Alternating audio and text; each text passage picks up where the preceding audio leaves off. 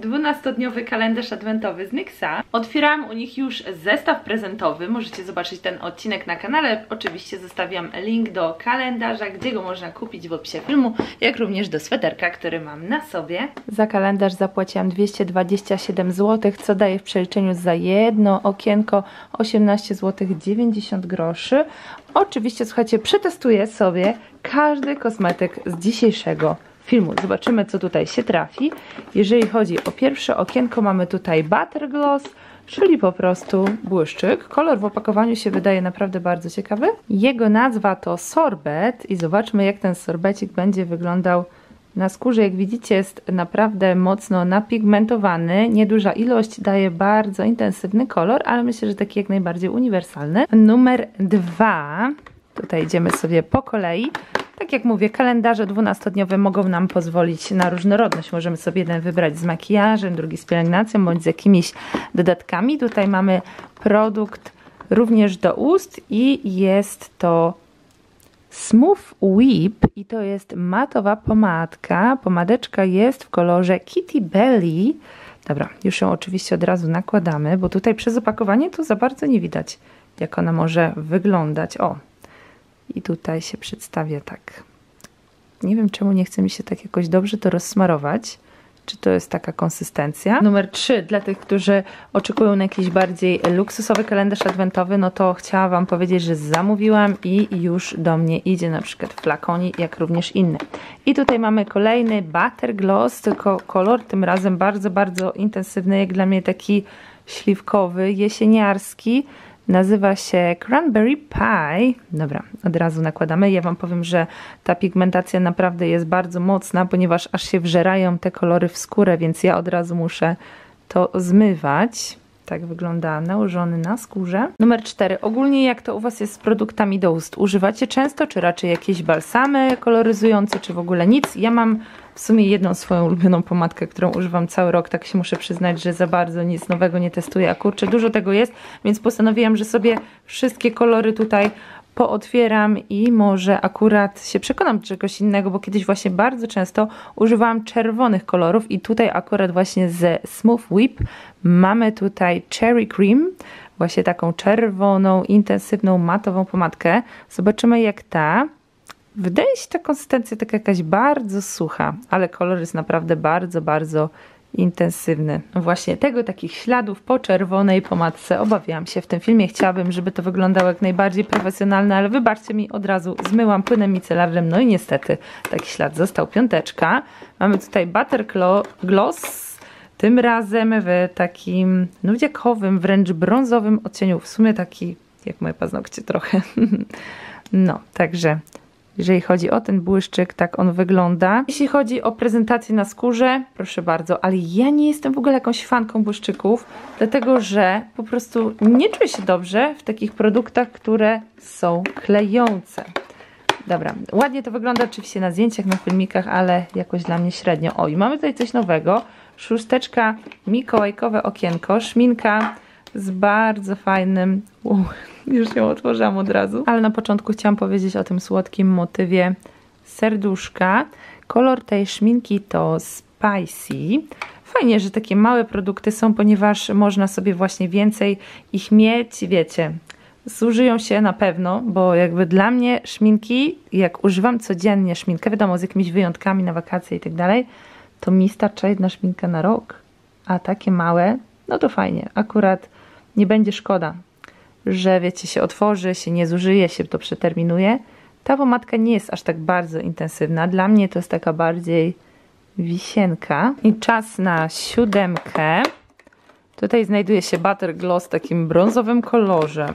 No nie wiem, nie wiem. Raczej przy ciemnych karnacjach coś takiego mi się bardziej widzi. Generalnie tutaj, jeżeli chodzi o te produkty, mamy datę ważności 18 miesięcy po otwarciu. E, nazywa się Ginger Snap. Dobra, Sprawdźmy to. No może właśnie nałożone na jakąś pomadkę będzie to zupełnie inaczej wyglądać. Takie czekoladowe usta. O, numer 8. Wpadłam na super e, pomysł. Dziewczyny, napiszcie jaka jest wasza ulubiona pomadka. Jedna, jedyna, jakbyście miały wybrać. I zrobimy taki ranking powiedzmy sobie w komentarzach. Może ktoś się czymś zainspiruje, może mnie czymś zainspirujecie. Ja mam ulubioną Charlotte Tilbury Pillow Talk. Tutaj mamy kolejną matową pomadkę z serii Smooth Whip i nazywa się ona Teddy Fluff. Dobra, sprawdzajmy tego miśka, jak on wygląda. Ciemne, ciemne. No nie wiem, to wygląda dla mnie jak było trochę takie pogródkowane. Ale ta zdecydowanie lepiej się nakłada. Ale tak jak mówię, można wykorzystać takie pomadeczki też do czegoś innego. Ja myślę sobie, że do konturowania te brązowe, no nie? Numer 9, jeżeli ktoś chce sobie uzupełnić zapas pomadek, błyszczyków, myślę, że jak najbardziej jest to fajna opcja. No i właśnie chciałam powiedzieć, że jedyna rzecz, która by tutaj się przydała, to coś takiego transparentnego. I właśnie w tym okienku trafił się Butter Gloss, po prostu zwykły błyszczyk transparentny, a nazwa tego odcienia to Sugar Glass. I przechodzimy do dziesiątki. Fajne są te 12-dniowe kalendarze. Właśnie kilka z Was napisało w komentarzach, że nie traktują na przykład czegoś takiego jak kalendarz, tylko jako zestaw prezentowy, co też jest bardzo fajne, więc wydaje mi się, że niekoniecznie na święta, ale tutaj mamy świąteczną grafikę z flamingami, która mi się bardzo podoba, jak wiecie, albo nie wiecie, kiedyś byłam bardzo wielką fanką flamingów, do tej pory mam dużo rzeczy z flamingami w domu. Smooth Whip, kolejna matowa pomadka, Fuzzy Sleepers, dobra, i tutaj mamy już taki chyba typowy fiolet, z tego co się nie mylę. No, tutaj jak powiem Wam, wyciągnąłem ten aplikator, to wygląda mi to troszkę inaczej, więc sprawdźmy sobie, jak to wygląda nałożone na skórę. Zdecydowanie w opakowaniu jest bardziej fioletowo, a tutaj nawet, że w takie róże to wpada. Dobrze, że nagrywam ten kalendarz dzisiaj na koniec dnia, bo bym chodziła cała taka w plamach, czego nie za bardzo lubię. Czy macie w ogóle jakieś takie patenty, jak to zmyć? bo mi to w ogóle nic nie pomaga. Płyny micelarne dwufazowe, co nie tylko i nic nie daje rady, ale to tak zazwyczaj jest po tych czerwonych pomadeczkach. Tutaj mamy NYX Butter Gloss, jest to błyszczyk czerwony w kolorze Red Velvet i Red Velvet na skórze przedstawia się następująco. Dużo jest tutaj takich czerwieni. Wydawa wydaje mi się, że powinno być więcej takich brudnych różów, nudziaków, takich bardziej uniwersalnych. Ale nic, taki to kalendarz i numer 12 teraz przed nami. Ostatnie okienko. Czy dadzą coś innego, coś szałowego? Tam była taka jedna szminka. I tak pomyślałam, że może fajnie byłoby, gdyby się powtórzyła. I tutaj również jest, więc tak naprawdę mieliśmy produkty z trzech serii. Jeżeli chodzi o szmineczkę, Zobaczmy od razu jej nazwę. Nazywa się Can, a kolor przedstawia się tak.